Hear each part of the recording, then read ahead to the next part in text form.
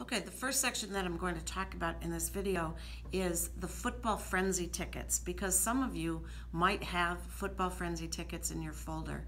We're only going to put 10 tickets per family, so if you have more than one sibling attending Xavier High School and and participating in athletics, the older or oldest sibling will have those tickets in his or her folder.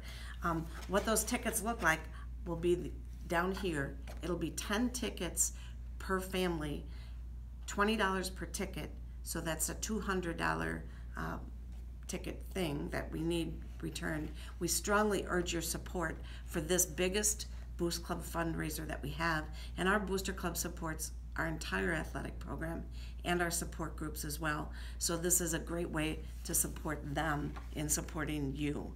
Um, $17,000 in cash prizes is sent out every week. Uh, one week of the of each of the regular season NFL season. Um, so there's a thousand dollars sent out every week and for a total of $17,000. A lot of people think maybe this is a national thing, but no, it's $17,000 paid out to anybody who participates in this particular Xavier Football Frenzy. The other thing too is if you purchase two of these tickets, please tell the people you're selling to you purchase two of these tickets, they can then go online and get a third one for free. So that's that's a huge benefit as well. One of the things that I'm going to be collecting is the small stubs right here. So all the stubs clearly printed, the information clearly printed on it, and and of course the money. This would be due to me by September 1st. The stubs and the money due to me by September 1st.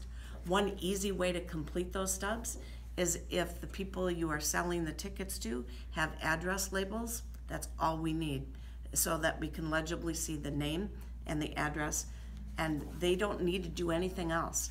We check if they've won and we simply put a check in the mail to them. So it's a great fundraiser. We're not selling pizza, we're not selling gift wrap, we're not selling candy. Um, this is an easy and, and much more fun thing to do. Um, so again, checks, if you're receiving checks for this, checks are payable to Xavier Catholic Schools or XCS, and the checks, money, and stubs come to me by September 1st or sooner, and more tickets are available if you're finding that more people want them. So thank you in advance for your support.